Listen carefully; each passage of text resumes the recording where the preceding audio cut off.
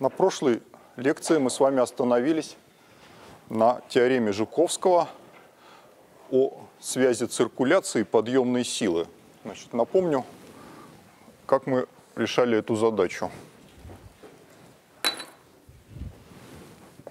Мы сказали, что будем рассматривать систему или решетку профилей одинаковых. Значит, это сечение крыльев значит, и, и так далее, которые расположены периодическим образом. L – это вектор периода. Провели какой-то контур, опирающийся на тот же самый вектор L справа и слева. Сказали, что эти границы контура достаточно удалены настолько, что скорость можно считать на таком большом удалении однородной. Значит, здесь у нас была скорость v1, здесь скорость v2. Из-за того, что верхние и нижние границы контура являются периодическими, все интегралы по этим участкам контура будут равны нулю. Значит, в частности, циркуляция скорости вокруг крыла одного – это интеграл VDL. Если посмотреть вот на этот контур, то видно, что части этого интеграла вот такому контуру по верхней и нижней границе будут равны нулю, то есть в сумме останутся только две вот эти кусочка.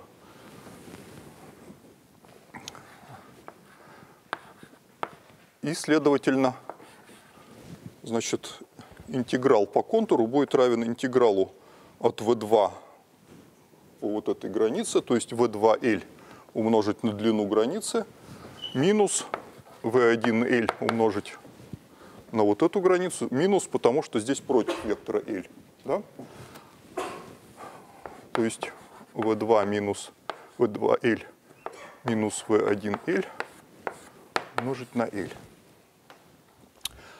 После чего мы подсчитали импульс, затекающий внутрь этого контура, и сказали, что если этот импульс затекающий и вытекающий не компенсируется, то единственное место, куда он может деваться, это создавать подъемную силу. И получили эту подъемную силу в следующем виде – минус И, ро, гамма, В1 плюс В2 пополам. Ро – это плотность, В1 и В2 – это скорости. Значит, можно заметить, что в этой формуле нет векторов. Это по следующей причине, что мы ввели эффективную комплексную плоскость, так что действительная ось была нормально к L, а мнимая ось была в направлении вектора L. То есть вот это комплексное число можно считать, что это вектор, у которого действительная часть, вот действительная часть R это вот эта компонента вектора, а мнимая часть R это вертикальная компонента, ну вертикальная в смысле вдоль вектора L. Итак, значит, на самом деле у нас большая часть самолетов летает, у них одно крыло, а не решетка. Поэтому было бы интересно перейти к пределу при L, стремящимся к бесконечности.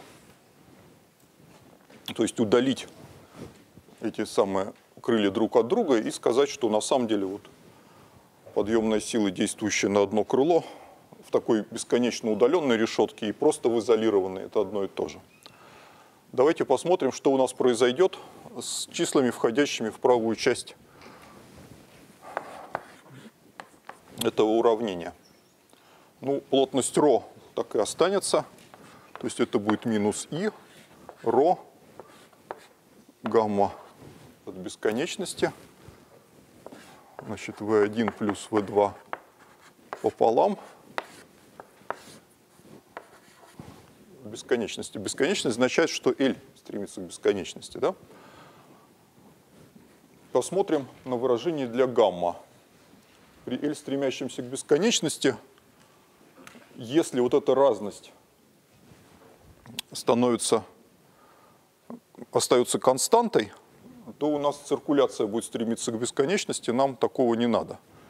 Поэтому будем считать, что гамма-бесконечность – это просто циркуляция, которая меньше бесконечности. Да? То есть, следовательно, по крайней мере, касательные компоненты скорости v здесь и здесь должны стремиться друг к другу. Да? Следовательно, v2L стремится к v1L. Но кроме того, из уравнения непрерывности у нас было еще одно уравнение, что v2n равняется v1n. Для того, чтобы сколько воздуха втекает, столько вытекает из этого контура, да? Ну, следовательно, ну, v2 в целом стремится к v1, когда L стремится к бесконечности. Следовательно, вот эта вся формула сводится к минус i ро гамма умножить на v, где v это средняя скорость или скорость набегающего потока, что то же самое. То есть для одиночного профиля формула выглядит еще проще. Минус и ро гамма на v. Формула Жуковского. Так. Значит, какие можно сделать выводы вот из этой формулы? Значит, первое. Если циркуляция равна нулю, значит и подъемной силы никакой нет.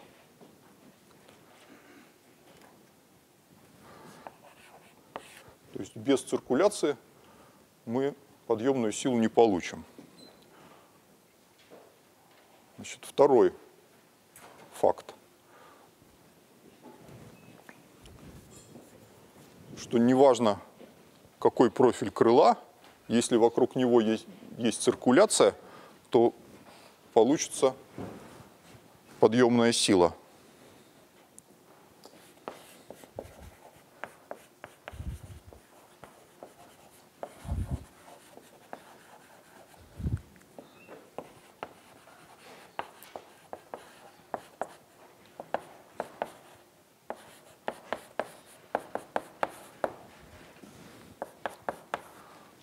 частности, оказывается, можно летать на цилиндрическом крыле.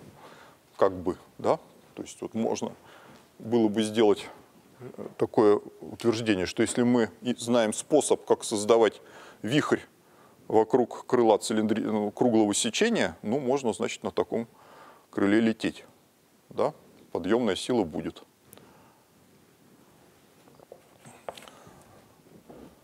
Третье. Значит, вот что означает вот тут минус i? Это означает, э, значит, что вот ρ и гамма – это действительные числа. А v – это комплексное число, r – это комплексное число. То есть, да, то есть, а тут минус i. Если я комплексное число умножаю на минус i, у меня действительно мнимая часть поменяется местами. Значит, с точки зрения вот этой вот науки, преобразования вектора в комплексное число и обратно – это означает, что вот это минус i означает поворот на 90 градусов. Если v у нас направлено в какую-то сторону, то r направлено под 90 градусов. Ну, значит, нам важно, чтобы это была подъемная сила вверх, а не вниз. Ну, скажем, конечно, для автомобилей гоночных там важно, чтобы вниз, но для самолетов вверх. Значит, это зависит уже от знака гамма. Вот какого знака должно быть гамма, чтобы R было именно подъемной силой, а не прижимающей силой. Давайте поймем.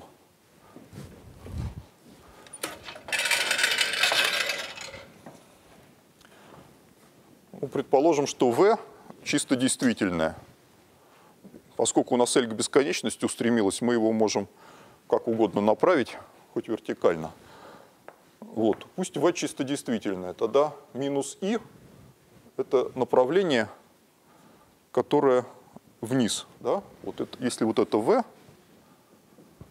и гамма больше нуля, то r будет направлено вниз. При положительной циркуляции гамма направлена вниз, э, r направлена вниз. Значит, при отрицательной циркуляции R будет направлено вверх. Вот это вот случай гамма меньше нуля.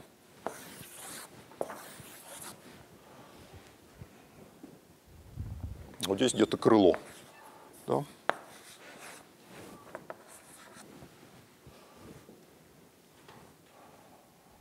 Значит, что такое отрицательная циркуляция? Вот есть крыло, набегающий поток со скоростью v.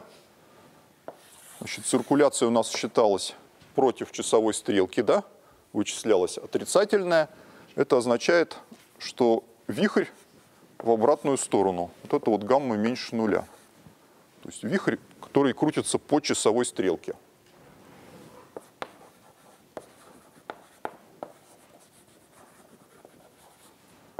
Значит, R направлено вверх, в этом случае, когда гамма меньше нуля. И, значит, картина совпадает с тем, что вам рассказывали про подъемную силу в школе. Да? В школе вам рассказывали, что если у нас сверху над крылом скорость течения больше, то тогда здесь давление меньше по закону Бернули, и появляется подъемная сила ну, здесь давление больше, сверху меньше, ну и подъемная сила направлена вверх. И действительно все совпадает. Вот смотрите, к этой скорости добавляется вихревая, сверху она добавляется, значит результат больше, а снизу вычитается, потому что здесь скорость вихря на, навстречу, получается меньше. Да? Ну, то есть здравому смыслу тоже не противоречит. Итак, значит, вот мы выяснили, что можно лететь на чем угодно, если мы знаем, как создавать вихревое течение вокруг такого крыла. Однако, естественно, возникает вопрос, а мы действительно знаем, как его создавать? Почему-то все самолеты имеют какую-то совершенно определенную форму крыла – И, наверное, это как-то связано именно с, как, вот с этим способом создания циркуляции гамма. На этот счет имеется значит, постулат. Значит, следующий значит, пункт Чаплыгина-Жуковского.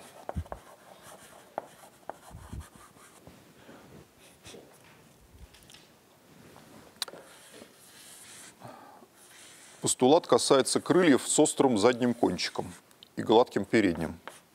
Вот это вот сечение крыла. Не круглое, а вот совершенно конкретное вот такое. Значит, если мы попробуем нарисовать линии, как газ обтекает это крыло, то они будут выглядеть как-то вот так. Вот это вот набегающий поток. Здесь обязательно будет сепаратриса – такая линия тока, которая утыкается в крыло, ну, потому что ясно, что поток, который проходит над крылом, и поток, который под ним, они обязательно должны чем-то разделяться. Да, вот это вот как раз и есть сепаратриса. Ну и на сепаратрисе скорость вот в этой точке обращается в ноль. Сзади за крылом эти потоки снова соединяются. И где-то там есть сепаратриса. Значит, вот постулат Чеплыгина-Жуковского заключается в следующем, что в стационарном состоянии у крыла с острой задней кромкой сепаратриса отходит от этой самой задней кромки. То есть на острой задней кромке V равняется нулю.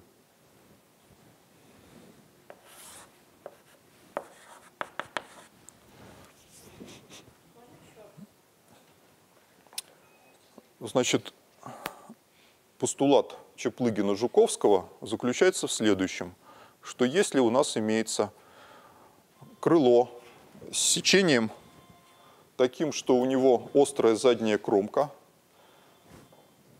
то тогда сепаратриса или линия стагнации должна отходить от этой самой задней кромки. На задней кромке скорость равна нулю для стационарного обтекания. Значит, это требование, это требование значит, определяет как раз величину циркуляции. Потому что, смотрите, значит, во-первых, оно разумно, а во-вторых, оно определяет величину, величину значит, вот именно циркуляции. Вот почему. Потому что предположим, что мы как-то произвольную циркуляцию создали вокруг этого крыла, значит, и этого требования нет. Тогда картина вблизи этого заднего кончика вот это вот, допустим, это сечение, а точка стагнации, например, вот здесь. Да, стагнация, значит, v равно нулю. Вот как тогда будет выглядеть обтекание? Значит, сверху линии тока будут идти вот так, а снизу вынуждены будут обходить эту острую заднюю кромку. Значит, для того, чтобы ее обойти, потребуется, чтобы скорость здесь, наоборот, обратилась в бесконечность. Вот чем ближе мы к... Что значит острый? Ну, значит, там вот под очень маленьким радиусом кривизны придется этим линиям тока проходить. Да? Ясно, что это как-то выглядит нехорошо. Да? Наверное, тут будет отрыв потока в, тако, в такой конфигурации. Что значит отрыв потока? Это означает, что тут образуется вихарек, вот, он, вот так вот закрученный, да, который возьмет и улетит в бесконечность. То есть вот эти линии выпрямятся, значит, эта точка стагнации отъедет, сумма циркуляции вокруг крыла и вокруг вот этого вихарька останется по-прежнему той же самой по закону о сохранении циркуляции, но вокруг крыла по отдельности изменится. То есть суть заключается, то есть вот просто вот такая ситуация, она не будет стационарной из-за того, что значит, воздух не любит обтекать острые кромки таким образом. Обязательно отсюда будут отрываться какие-то вихарьки, ситуация не будет стационарной, и в результате отрыва этих вихарьков мы придем снова вот к такой ситуации. При этом важно еще, что передняя кромка как раз гладкая, потому что сделать так, чтобы и вот эта точка, и вот эта точка, вот если у нас острые оба конца крыла острые, тогда получится, что стационарная ситуация может быть не при всех скоростях набегающего потока, а только при каком-то одном, при какой-то одной скорости. Ну и это, в общем, неинтересно. Потому что самолеты должны летать с разной скоростью, в том числе, так сказать, стартовать. Вот. Ну, поэтому вот здесь вот этот вот обтекающие вот эти линии тока – они тоже есть обязательно, да? Но если тут у нас гладенько, гладкий профиль без острых концов, то это не обязательно означает, что здесь будут отрываться какие-то вихри. Ну, прямо э, заранее можно сказать, что, значит, вот, э, вы, наверное, слышали, что есть такое понятие, как срыв потока. Да? То есть, если у нас самолет э, слишком сильно задирает нос, или вот это крыло становится слишком сильно перпендикулярно к потоку, пусть даже у него задняя острая кромка, а передняя такая, если вот в такое положение поставить, то значит, точка стагнации смещается вот сюда куда-то на брюхо, ну и все равно, значит, вот это вот, вот здесь могут отрываться вихри.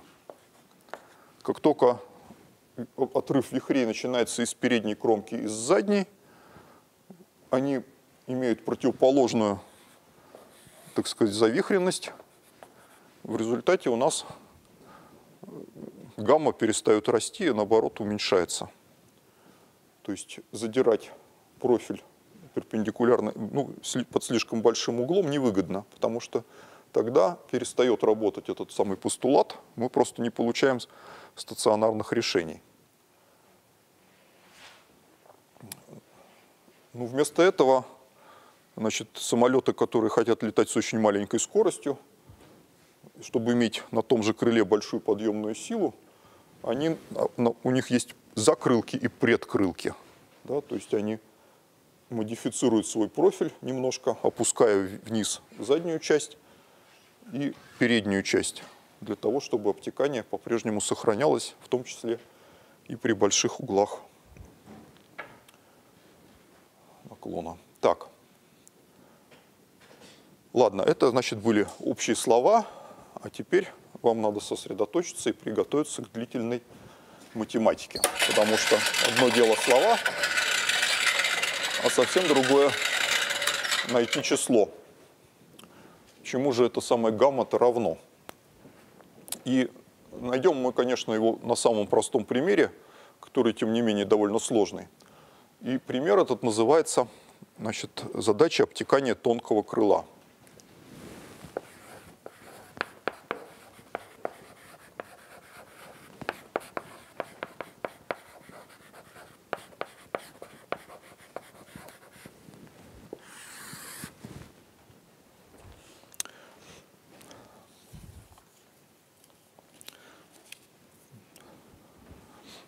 Значит, вот картинка, которая нарисована чуть повыше. Считаем, что толщина крыла много меньше, чем его длина. Да?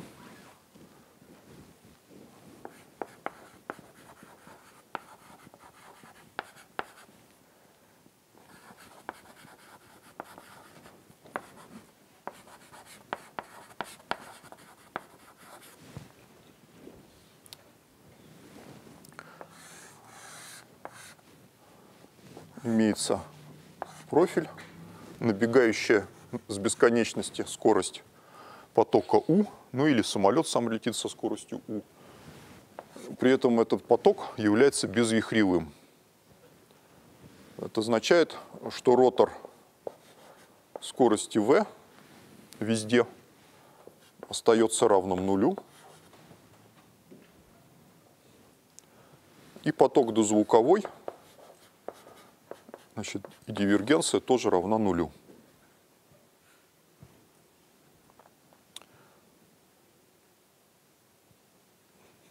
Значит, для таких случаев у нас было два описания уже использовано.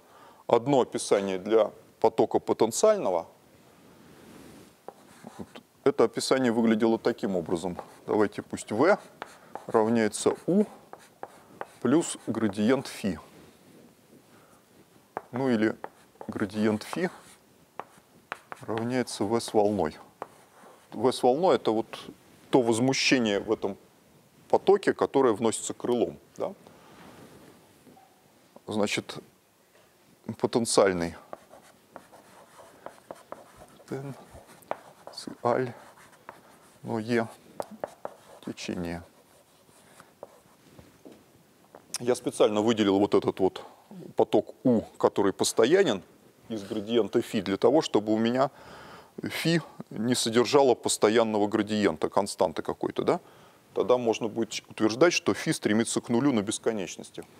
Если вот, этот, если вот это вот v с волной, это какое-то возмущение да, потока общего. Так, значит, если потенциальное течение, значит, у него, то есть это означает, что ротор V с волной равен нулю. Да? То есть вот из этого требования. Следует, что течение потенциальное, ротор V равный нулю обеспечено автоматически, а второе требование, что дивергенция равна нулю, приводит к следствию значит, Лапласиан фи, который равняется дивергенции градиента φ равняется нулю. Значит, это представление номер один. Представление скорости через потенциал скорости φ.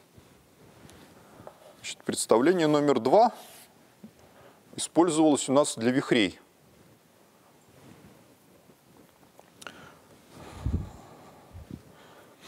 Сейчас.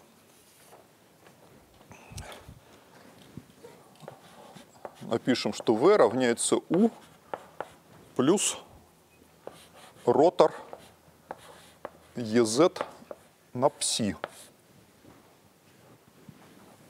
Значит, EZ это вектор, который перпендикулярен доске, а пси это функция, значит, вот функция тока, да? Вот при таком чисто вихревом представлении у нас автоматически выполнен, выполнено требование дивергенции v равно нулю. Но должен быть еще и ротор скорости равен нулю. Да? Из этого следует, если ротор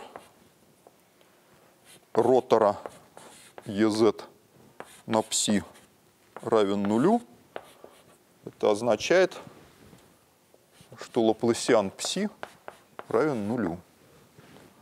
Значит, получили мы одинаковые уравнения для двух разных функций. Вот эта функция потенциал скорости, да, а это функция скорости значит, вихря, вихревая потоковая функция. Значит, есть две функции, которые обладают свойством Лапласиан. От них равен нулю. И как мы уже видели в предыдущей теории, развитой Жуковским, оказывается продуктивным использовать ТФКП. Вот. И, возможно, вы помните, что если действительно и мнимая часть какой-то комплексной функции обладают такими свойствами, что Лапласиан от них, Лапласиан от них равны нулю, то эта функция аналитическая. Да? Вот. Есть такое свойство. Значит, давайте введем функцию W, которая равняется φ плюс и пси.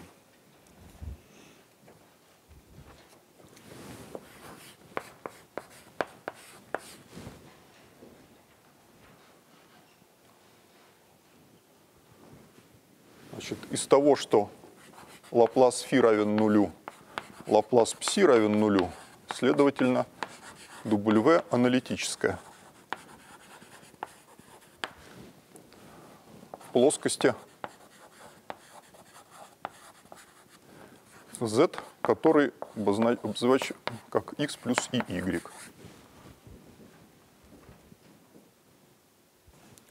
Ну, то есть x это вот у нас горизонтальный, y вертикальный. И вот такая вот вещь получается. То есть смотрите, вместо того, чтобы решать вот эти вот уравнения Лапласа для фи и пси, чтобы, на, то есть на самом деле, если мы их решим с заданными граничными условиями на поверхности этого крыла, то мы тем самым найдем решение задачи. Да? Мы найдем полностью все обтекание и, и, а следовательно и циркуляцию. Но нам трудновато решать задачу Лапласа.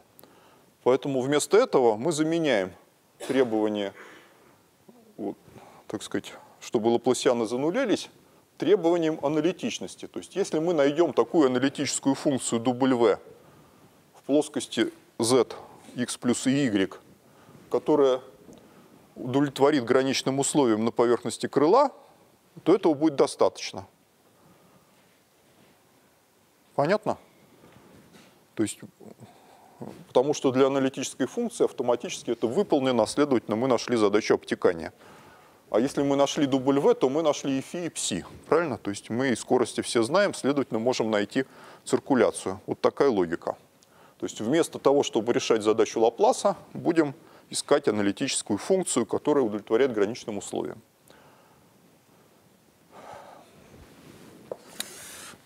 Еще дополнительные замечания сделаем. Первое замечание. Каким образом искомая циркуляция, которую нам, собственно, надо найти, связана с этой самой W? А вот как. Первое. Заметим, что W', которое можно определить как dW по dz. Берем приращение аргумента на эпсилон для фи, для пси. Значит, получается dφ по dx плюс и dψ по dx.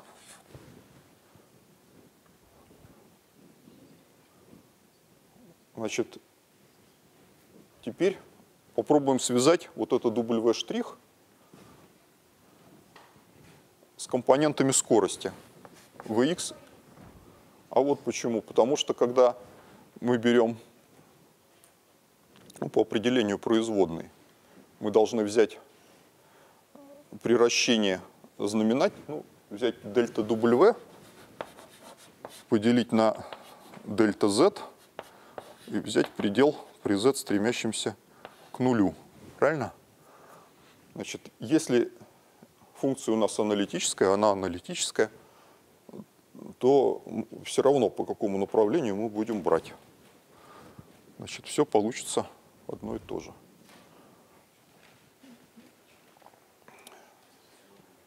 Так, ну, одним словом, вот это вот, что значит z стремится к нулю?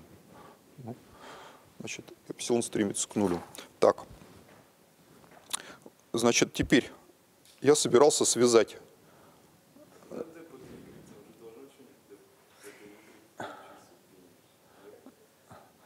Ну, поразмышляйте самостоятельно, хорошо?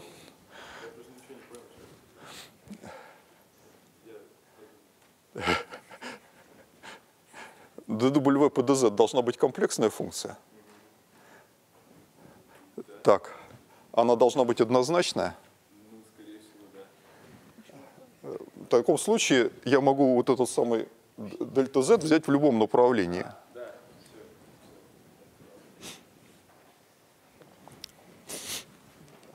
Так, значит, что такое dφ по dx и dψ по dx? Оказывается, это компоненты скорости. Значит, dφ по dx это, очевидно, x компонента скорости, потому что v равняется градиент φ, правильно? То есть вот это, это v с волной x -товая.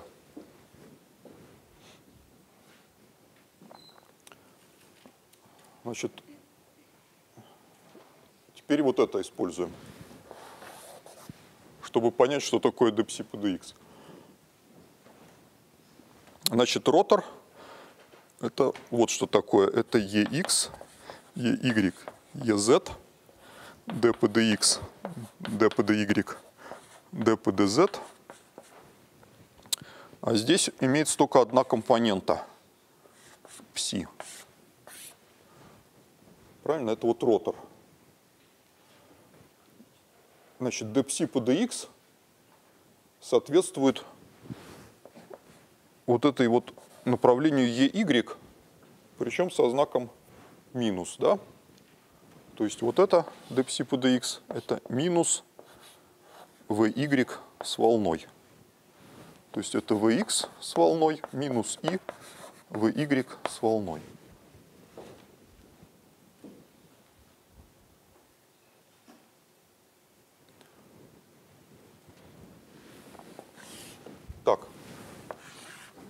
Значит, гамма.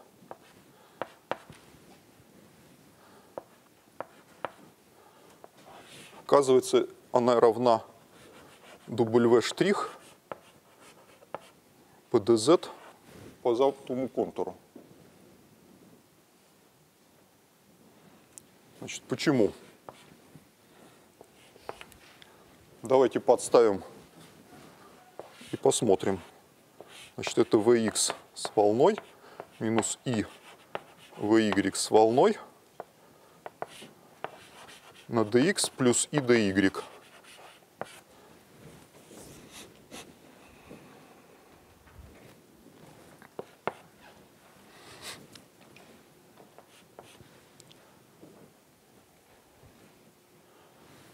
Значит, получается интеграл vx dx плюс vy dy. Это действительная часть от того, что тот получается при, произведи... при раскрытии скобок. И мнимая часть, которая выглядит таким образом. Плюс и интеграл значит, vx dy минус vy dx.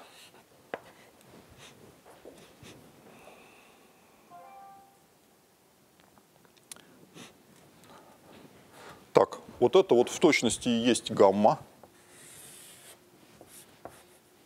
Правильно? VDL.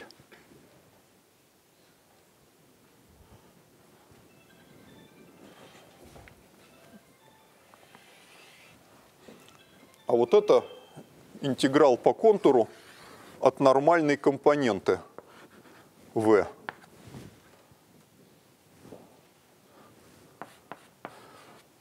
Он равен нулю, потому что жидкость несжимаемая.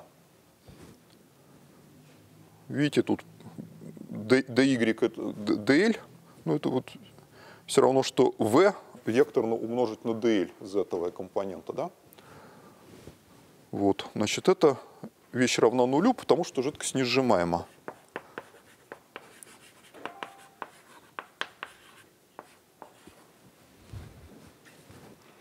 Таким образом мы доказали, что гамма равен W' dz по замкнутому контуру.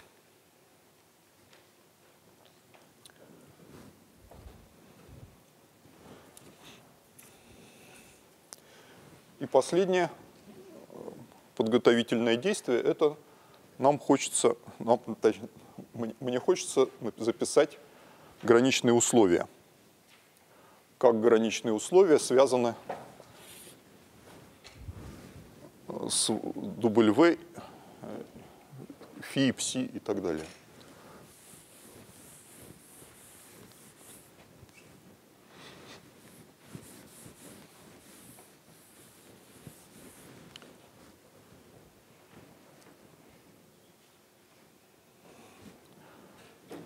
Значит, нам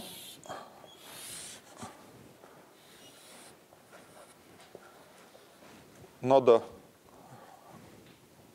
рассмотреть обтекание тонкого крыла.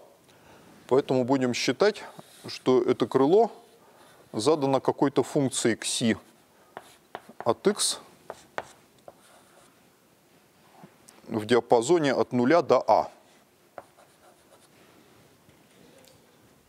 То есть вот это вот форма, форма, форма крыла такая, да?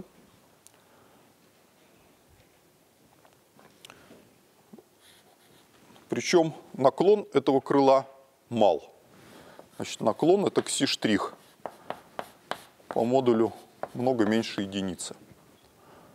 Значит, как я уже говорил, если у нас тонкое крыло, значит, у него по необходимости довольно острая передняя кромка, и большой угол наклона мы сделать не можем, там все равно ничего не полетит. Поэтому имеет смысл только рассматривать маленькие наклоны. Вот. Если у нас маленький наклон, а набегает скорость u,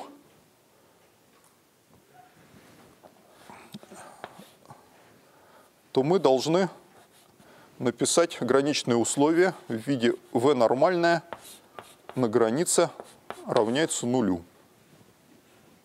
То есть на границе крыла нормальная компонента скорости равна нулю, иначе получится, что газ протекает сквозь крыло. Правильно? То есть вот это и есть граничное условие. Само V, вот оно у нас имеет два представления.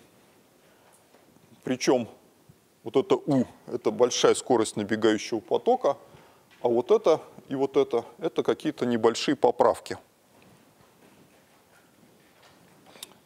Значит, для того, чтобы найти Vn, я сперва должен найти вектор нормали. Значит, вектор нормали имеет большую y компоненту, которую мы возьмем за единицу, и маленькую x компоненту, которая примерно равна минус кси штрих. Значит, этот вектор нормали, он имеет не единичную длину, но из-за того, что кси штрих маленькая, мы можем этим обстоятельством пренебречь. Теперь берем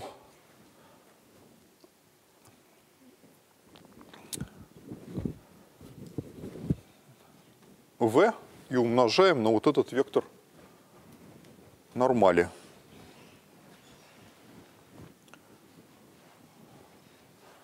Получим.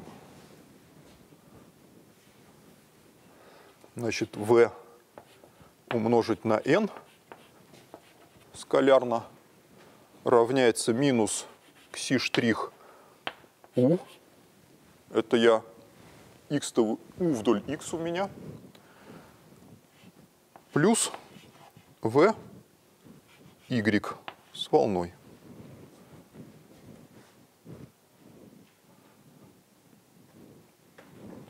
Должно равняться нулю.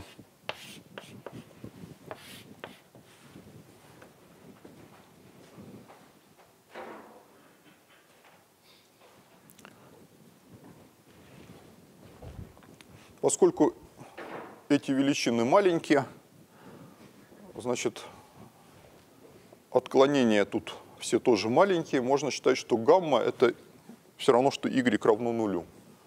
Таким образом, получаем граничные условия в виде vy с волной точки y равной нулю. Там, где есть крыло, то есть при x меньше а но больше нуля. Это вот, собственно, граница крыла. Vy должен равняться просто к си штрих у.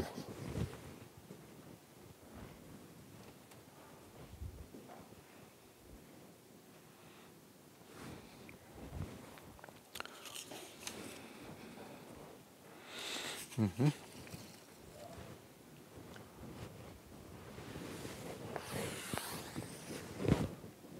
Так, значит, вот у нас есть вот это, вот это, вот это выражение для W штрих, и на этом перерыв.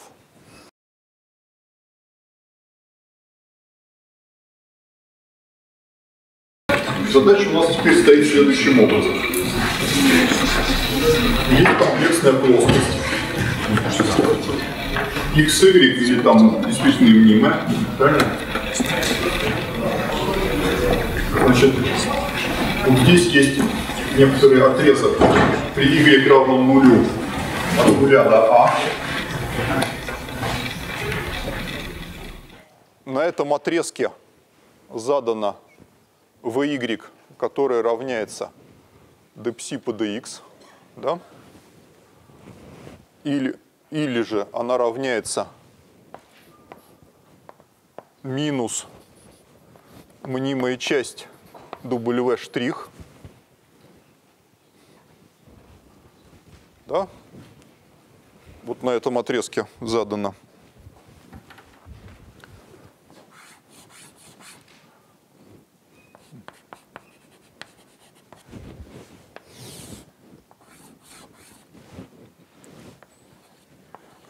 И наша задача заключается в том, чтобы по этому заданному э, значению найти аналитическую функцию при всех z. Если мы ее найдем, замечательно, ответ получен. Да? Дальше мы по ней можем восстановить циркуляцию. Вот по тому закону гамма равняется w' dz по, по контуру. Понятно, да? Значит, теперь конкретно попробуем решить эту задачу.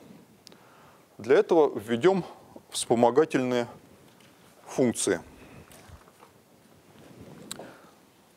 Разложим точнее говоря, W' на две составляющие. W' плюс и W' минус. Четную и нечетную компоненты. Поскольку у нас э, это комплексная функция, то значит, четность и нечетность надо определенным образом задать. То есть определение W' штрих минус будет выглядеть так, как одна вторая W' штрих от Z, о, прошу прощения, от, от Y, плюс W' штрих сопряженная от минус Y. Значит, Y это вертикальная у нас ось, да? Ну или мнимая, или мнимая ось. W с плюсом будет 1 вторая W штрих от Y минус W штрих комплексно сопряженная от минус Y. То есть плюс и минус тут местами поменены, но вы увидите почему.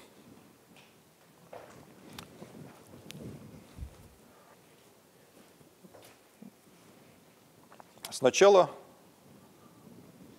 значит, если мы разбили вот этот W' на две составляющие, для того, чтобы у нас W' штрих было аналитической, достаточно, чтобы обе эти компоненты были аналитичными, аналитическими функциями. Правильно? Вот.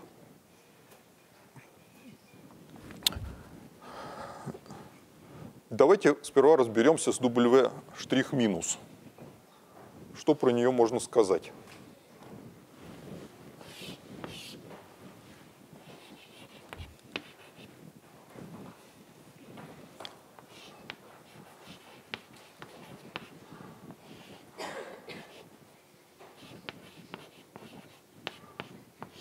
Значит, W' штрих минус на вот этой вот диапазоне, ну, вот на этом отрезке от нуля до А, который у нас симулирует крыло, оказывается, обладает следующим свойством. Вот это, видите, минус мнимая часть W штрих. Значит, здесь, если я возьму комплексно, и, и, и эта мнимая часть одинаковая, сверху и снизу, да, от этого крыла. Если я беру одинаковые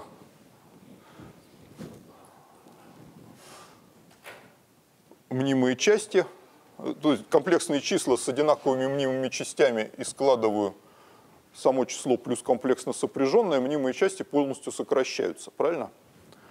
Значит, вот эта вот функция обладает таким свойством, что мнимая часть значит, тождественно равна нулю. То есть мне надо найти аналитическую функцию, которая значит, здесь просто равна нулю. Ну и давайте действовать самым простым способом. Скажем, что она вся равна нулю.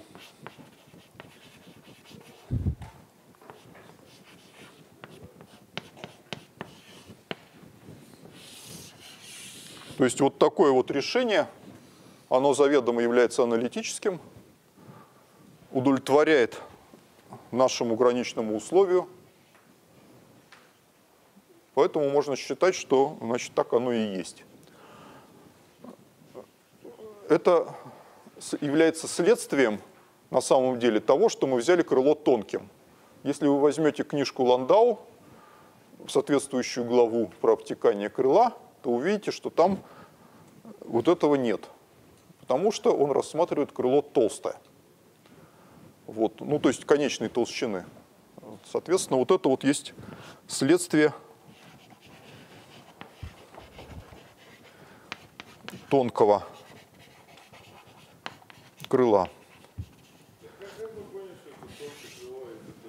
А вот почему. Смотрите, вот видите, у нас на верхней и нижней поверхности этого крыла кси-штрих был одно и то же – И это важно. Вот если, кси если у нас профиль верхней границы крыла и нижней границы крыла разный, тогда у нас вот это будет не ноль, а тут будет как раз эта самая разность. И... Ну, ну это... Нет, почему? Y это... Она связана с геометрическим. Да, вот мнимая ось это Y, а действительная ось это X.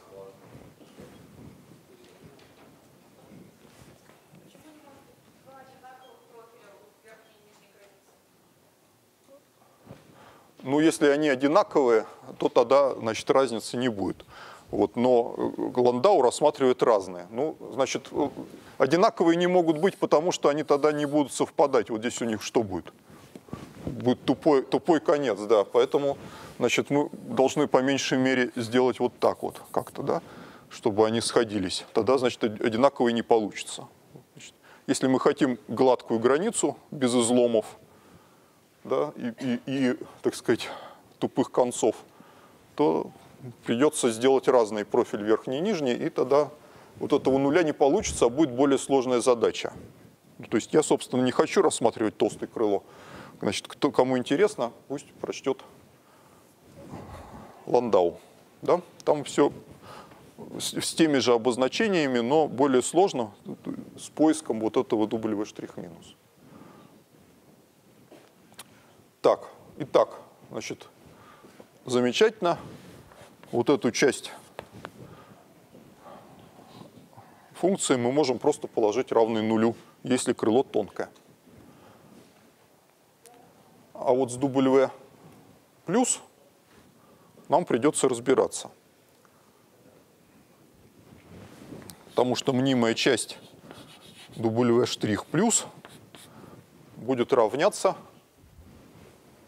минус кси штрих у.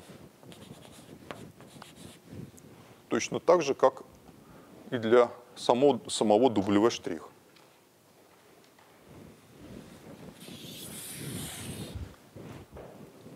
Но не везде, естественно, а только вот на этом отрезке. И таким образом задача свелась к отысканию аналитической функции W' плюс, которая значит, имеет вот такое, такое же граничное условие, как и W', но зато уже обладает дополнительным свойством симметрии, потому что вот видно каким, да?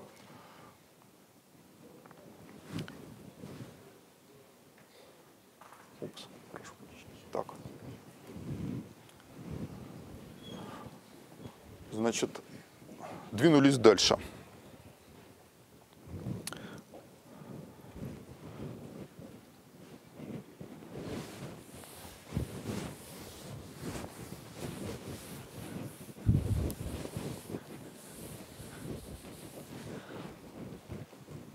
Теперь уже все-таки придется нам применить более сложные там формулы ТФКП, в частности интегрирование по контуру.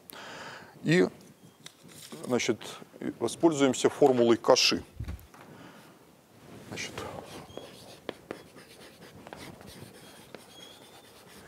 значит, если у нас задана аналитическая функция f от z, то эту функцию f от z можно представить в таком виде. Единица на 2πi, интеграл по контуру f от p на p минус z dp. В каком случае? Если f от p аналитическая. Если она аналитическая, то тогда никаких вычетов, кроме вычета вот в точке p равная z, не предвидится тогда этот интеграл по контуру сводится к единственному вычету.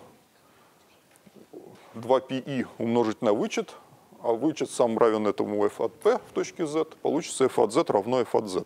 Понятно, да? То есть это известная формула тождества, так сказать. Вопрос в том, как мы его будем использовать. А использовать мы его будем довольно хитро. Мы не скажем, что f от z это W а мы скажем, что f это W' штрих умножить на вот такой хитрый корень из z на z минус a.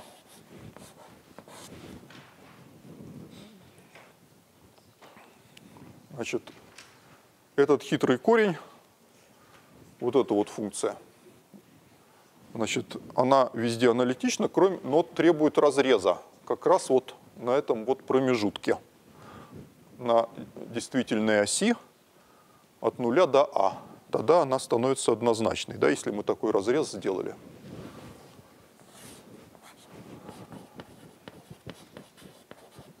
этого самого корня. Теперь смотрите еще, вот в чем, в чем хитрость, что в числителе z, а в знаменателе z минус a. Вот почему, например, не наоборот. Наоборот, тот же был бы разрез. А вот зачем. Значит, если мы потом будем искать из этого выражения W', то получится, что W' равно f умножить на корень из z минус a поделить на корень из z. Это означает, что в точке z равная a, вот, на, вот в этой вот точке, задний, задний острый конец крыла, который очень важен по постулату Чеплыгина, да, именно там э, скорость должна быть нулевой. Вот она такой нулевой и получится, да? То есть вот эта вот скорость, W', значит, если f конечна, на задней кромке крыла, то там она обратится в ноль, потому что тут вот z минус a пойдет в числитель.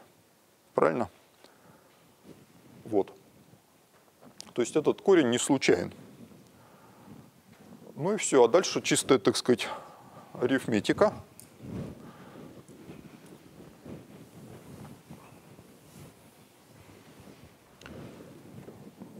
Пишем Значит, W' штрих от Z.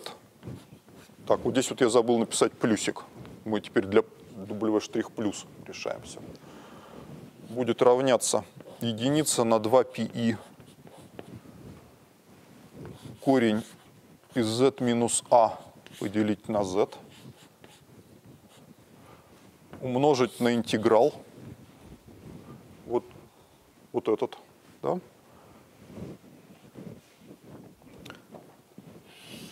Значит, здесь у нас p минус z. В числителе W' штрих плюс от p. И вот этот самый корень, где z я должен заменить на p. Значит, p поделить на p минус a. dp.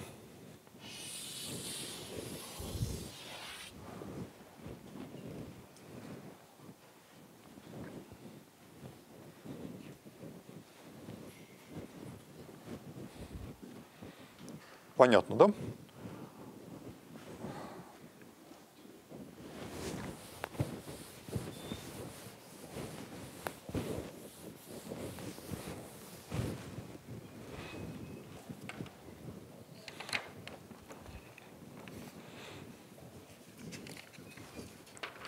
Вопрос, как мы этот организуем контур, который должен охватывать точку Z. Вот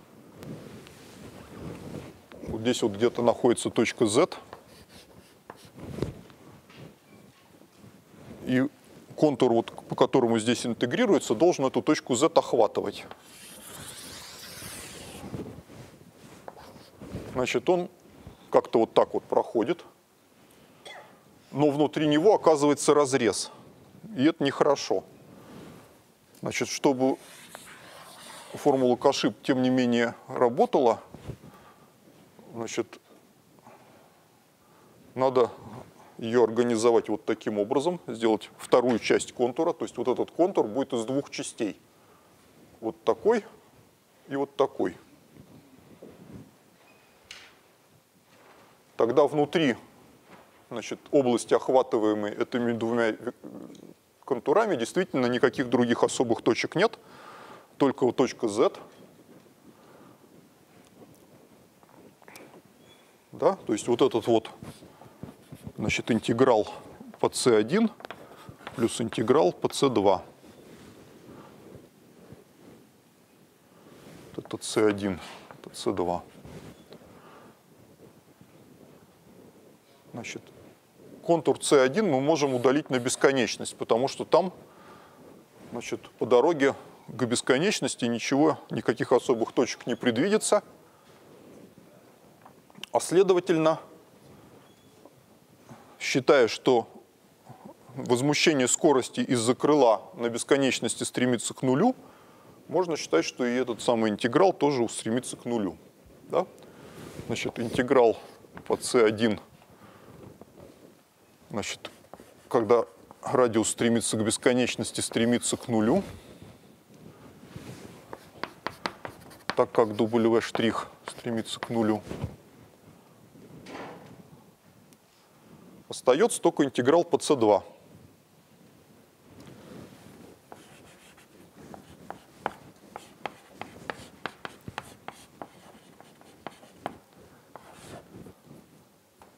Ой, прошу прощения.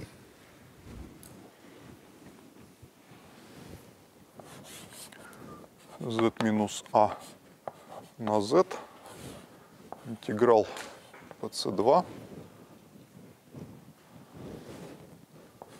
w плюс штрих на p минус z, корень из p на p минус а, dp.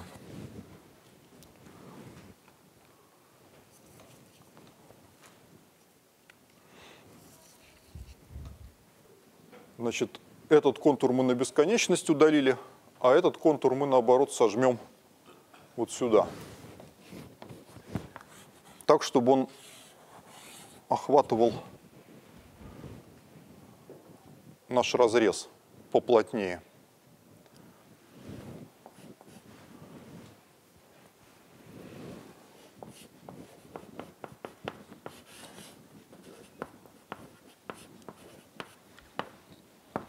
на интеграл от нуля до а, w плюс штрих, значит, значит, y плюс 0, то есть сверху, да, от разреза, на p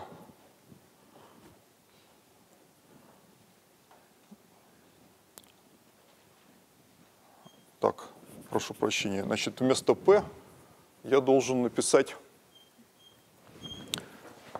x плюс и 0 минус z. Правильно? Значит, здесь корень снова x плюс и 0 минус x плюс и 0 поделить на x плюс и 0 минус а.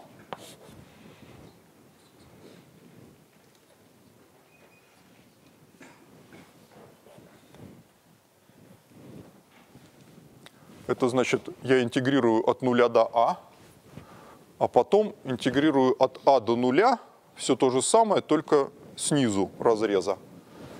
Поскольку я в обратную сторону интегрирую, я могу взять это значит, с минусом, написать в тот же самый интеграл добавить. Значит, W' штрих минус и0 на x минус и0 минус z корень из x минус и0 на x минус и0 минус а.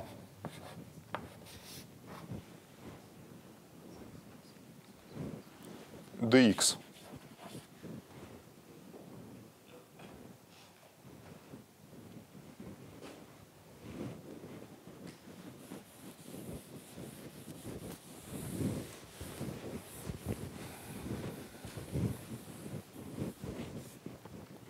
Значит, на этом разрезе мы знаем не всю функцию W' плюс, а только ее мнимую часть, да, вот эту. И она там одинак, э, одинаковая сверху и снизу. То есть первая пишем мнимая часть W' плюс от плюс-минус и 0 равняется минус кси штрих у.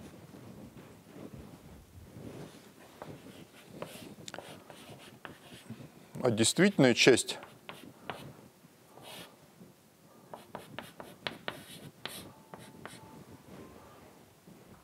чему равно? Оказывается, она нечетная. Это следует из того, что W' минус. Ну так. W' штрих минус тождественный ноль, в том числе и на этом разрезе.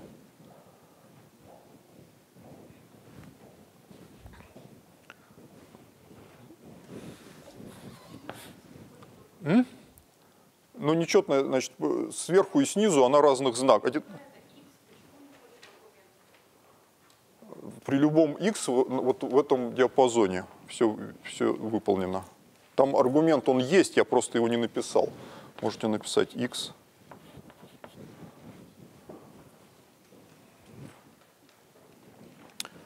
Дальше. Вот этот самый корень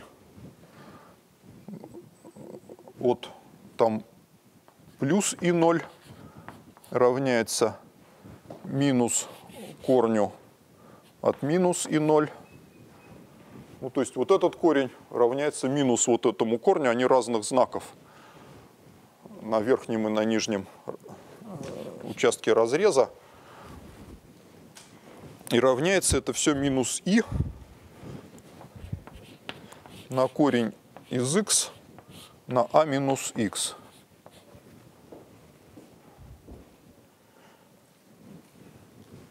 Значит, в этом диапазоне от 0 до x вот этот корень уже нормальный, неминимый, а эти штуки такие. То есть смотрите, что получается.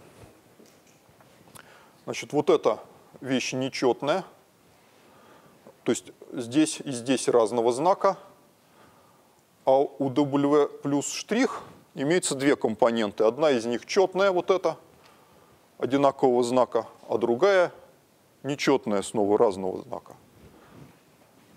Получается следующее, что значит нечетное на нечетное дает четное и вычитается, получается 0. То есть действительная часть W плюс штрих здесь дает 0, вот в этой вот скобке. А мнимая часть из-за того, что вот эти корни разного знака дает не ноль, удваивается. Поэтому, ой, все, совершенно все, поэтому совершенно все равно, значит, какого, какой величины вот эта вот э, действительная часть. Из-за того, что в интеграл она в результате не войдет. Значит, получается ответ следующего вида –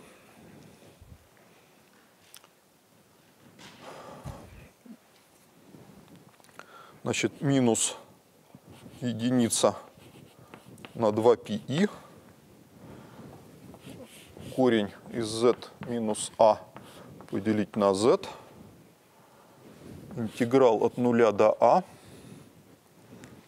2 кси штрих у поделить на x минус z, корень из x на а минус x dx.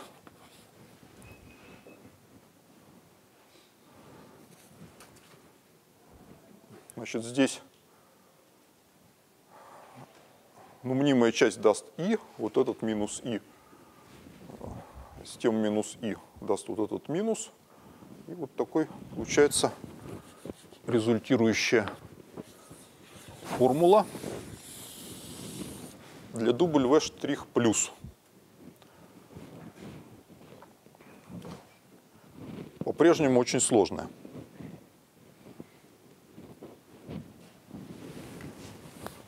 Но оказывается, ее можно вычислить, опять же, с помощью вы, вычетов, то есть вот этот интеграл несколько упростить.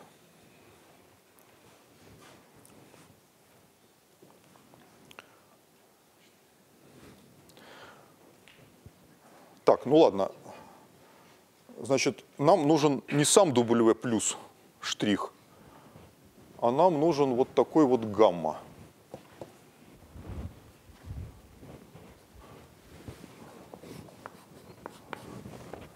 Тиграл. W штрих на DZ.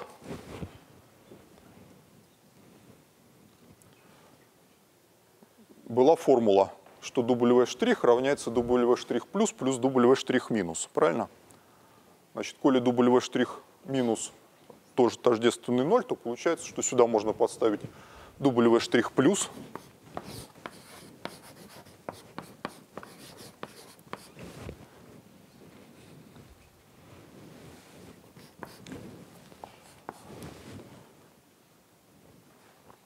И, соответственно, подставить вот это вот выражение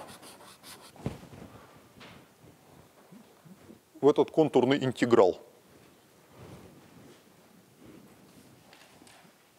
Значит, под контурным интегралом стоит аналитическая функция, которая, однако, содержит какие-то там нехорошие корни, и мы не знаем, как ее вычислять. Ну, то есть она, конечно, аналитическая, но всю, всюду, кроме вот этого, так сказать, места от нуля до А.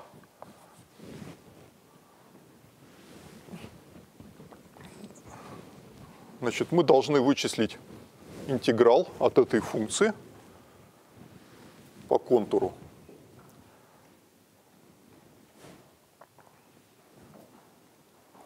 Давайте возьмем этот контур, во-первых, симметричным в виде окружности.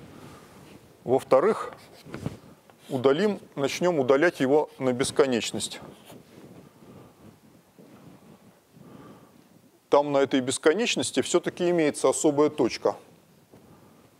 Значит, z равная бесконечности, особая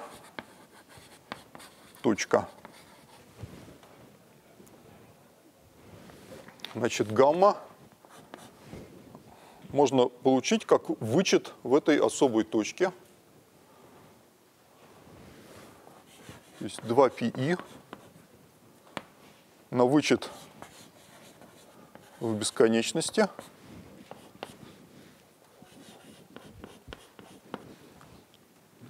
умножить на предел при z стремящемся к бесконечности от z умножить на w' штрих плюс от z.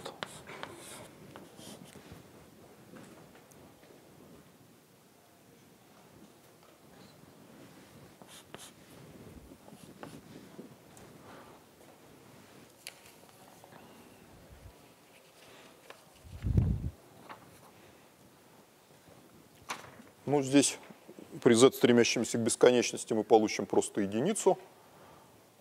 Вот, значит, этот z, вот с этим z при, при стремлении к бесконечности даст минус единицу, да, правильно? z поделить на x минус z, когда z очень большой, даст минус единицу. Здесь z не содержится. Значит, 2πi сократится, минус сократится. Останется просто интеграл от нуля до а Значит, кси штрих от x поделить, ни, ни на что не поделить, это сократилось, да? Умножить на корень из x а минус x dx. А здесь 2u. Вот и все. Да? На этом, к счастью, мы достигли окончания всех этих выкладок и получили окончательный ответ для циркуляции вокруг тонкого крыла. Значит, эта циркуляция дается такой формулой. 2u, u это скорость набегающего потока, интеграл вдоль этого по ширине крыла, кси штрих от x – это функция, которая задает наклон крыла в каждой точке, умножить на корень из x а минус x – dx.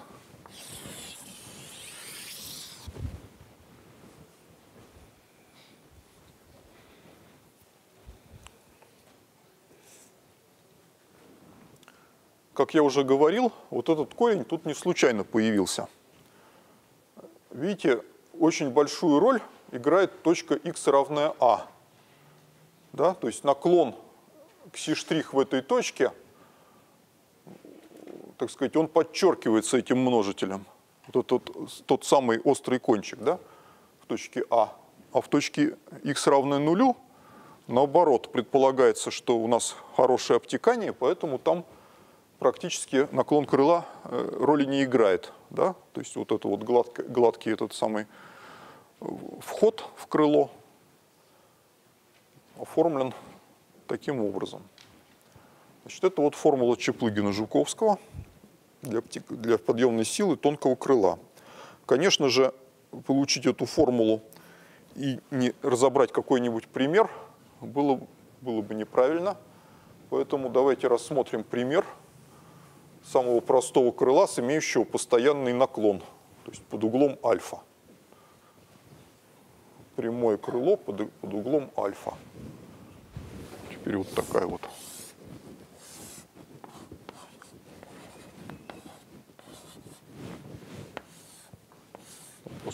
пластина плоская, плоская пластина под углом альфа.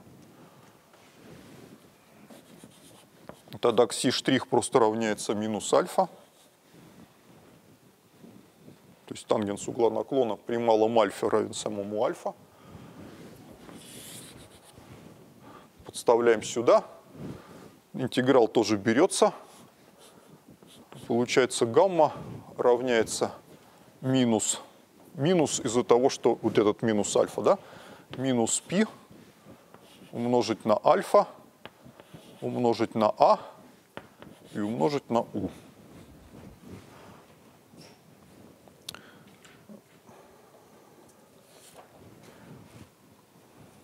То есть это вот подъемная сила плоской пластины. Причем угол альфа обязательно должен быть малым. И эта циркуляция, э, значит, приходящая, ну, ну циркуляция, да, значит, подъемная сила в соответствии с формулой Жуковского, значит, минус И с этим минус И даст просто И. Гамма это π альфа А У. Дальше надо было умножить на ро и еще умножить на у, на скорость набегающего потока.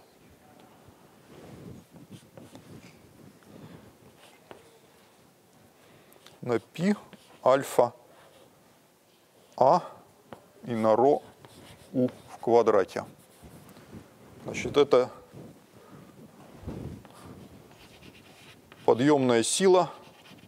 Так, вот это, кстати, не подъемная сила первая, это я виноват циркуляция.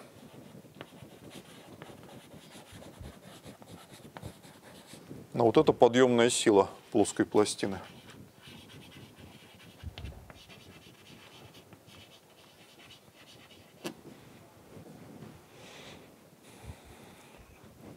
Что можно сказать про эту подъемную силу? Значит, плоской пластины на единицу длины –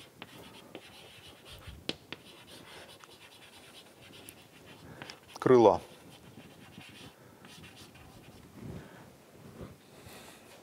Значит, эта подъемная сила пропорциональна динамическому давлению набегающего потока, роу квадрат,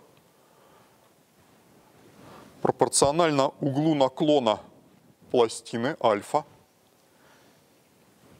пропорционально длине профиля и приходится на единицу длины, то есть пропорционально площади крыла да, то есть пропорционально все S крыла, пропорционально альфа и пропорционально роу квадрат. Все довольно естественно получается. Но вот, этот вот, вот эта пропорциональность, как я неоднократно подчеркивал, годится только при малых альфа. Как только вы сделали большой угол наклона, у вас пойдет срыв потока и ничего будет уже все не так.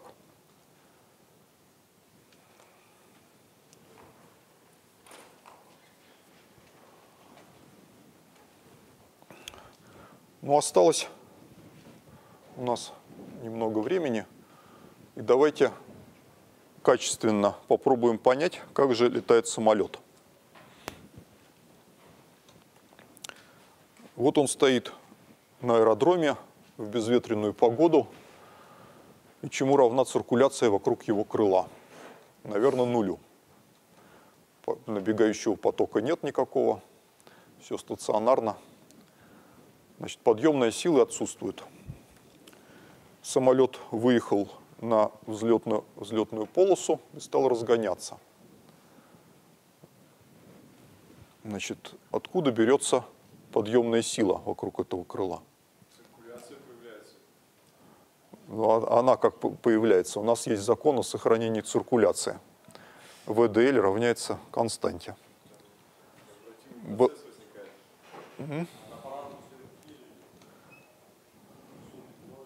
Нет, циркуляция э, – это единая вещь вокруг крыла. Значит, нажимается. Нет, есть теорема Томпсона. Интеграл ВДЛ равняется по жидкому контуру, является константой. Правильно? Значит, вот как не нарушить теорему Томпсона, да, вот сначала этот интеграл по жидкому контуру вокруг крыла был равен нулю. Правильно? Выехал он, побежал по, по, по взлетной полосе. Значит, это вся теорема, так она и есть. Ничего с ней не сделаешь. А циркуляцию вокруг крыла нам надо сделать большой для того, чтобы взлететь. М?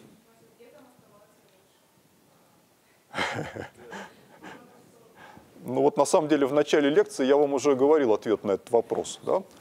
Вот этот вот контур жидкий, который был вначале насажен на крыло, когда ветра не было, он там и стоял вокруг крыла. А когда самолет побежал по взлетной полосе, этот контур стал вытягиваться, и становиться очень длинным. Вот. Значит, вокруг крыла циркуляция стала возрастать и приближаться вот к этой вот, из-за того, что с, ни- с- с крыла стали, от крыла стали отрываться вихарьки, закру- у которых закрученность в противоположную сторону. Вокруг крыла она в одну сторону, да? вокруг вихарька в другую, поскольку оба этих циркулирующих потока внутри нашего исходного контура по теореме Томпсона, значит, сумма равна нулю, как и раньше. Но, но там внутри этого контура есть два вихарька в разные стороны. Один из них охватывает крыло, а другой с этого крыла соскочил и остался там на аэродроме. Вот. Ну и так вот на самом деле э, кры- крылья делаются таким образом, чтобы эти вихарьки ска- соскакивающие были не очень большими. Потому что иначе самолет будет сильно трясти, будет сильно меняться подъемная сила крыла, когда этот вихрь отскакивает. Да? Ну а что дальше-то? Вот, значит, в сумме крыло и вихрь, который с него соскочил, вокруг них в сумме циркуляция равна нулю, и суммарная подъемная сила равна нулю. Вот. Но, но, но нас интересует только самолет. Вот. А на самолет действует сила вверх, а на этот вихрь, который с него соскочил, вниз. Потому что у них в противоположные стороны вращения. В результате соскакивающие вихарьки значит, вниз прижимаются, а сам самолет идет вверх, постепенно приобретая подъемную силу за счет того, что вот он как бы э, вот эти вот слетающие вихарьки к земле да, пускает. Ну а когда он уже перестал разгоняться, вышел на крейсерскую скорость, ну тогда вот действительно мы приходим вот к этой вот стационарной ситуации, когда уже э, стекающие вихри э, достаточно малы и нужны только для того, чтобы э, компенсировать вот потерю завихренности через кончик крыла. Да? То есть вот есть потери вих- вихря, он может стекать с конца крыла, да? Который вот мы в этой задаче не рассматривали. То есть по Z он перемещается и значит, с конца уходит. Чтобы это компенсировать, значит, вот сбоку постоянно срываются маленькие вихарьки, и значит, самолет летит таким образом. Значит, если вы летали на самолете и смотрели в иллюминатор на крыло, то вы, наверное, заметили, что значит, там есть, например, ребра такие на этом крыле из, тон, из тонкого металла, которые, значит, ну, они хорошо обтекаются, да, но стоят как бы перпендикулярно плоскости крыла. Ну вот, можете придумать, зачем они там нужны?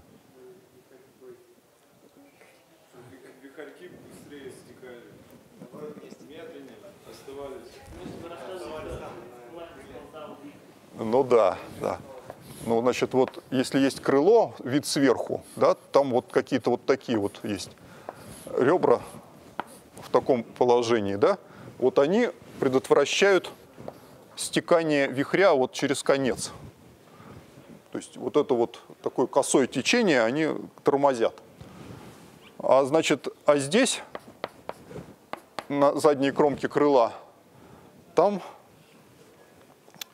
значит, чтобы эти все вихарьки были поменьше, тоже имеются разные штучки. Вот э, на разных самолетах по-разному. Но, одним словом, важно, чтобы э, значит, вот это обтекание тоже было оформлено более-менее гладко, чтобы вихри были не очень велики. Ну и я уже упоминал о механизации крыла, да? То есть для того, чтобы менять подъемную силу при одной и той же скорости, мы можем менять угол наклона вот в этой вот в конечной точке. И это как раз очень важно, потому что в соответствии с формулой значит, множитель при производной в конечной точке очень большой, поэтому за- задняя кромка существенно меняет подъемную силу, а передняя кромка значит, меняет допустимые углы атаки. Да? То есть на этом все. Спасибо за внимание.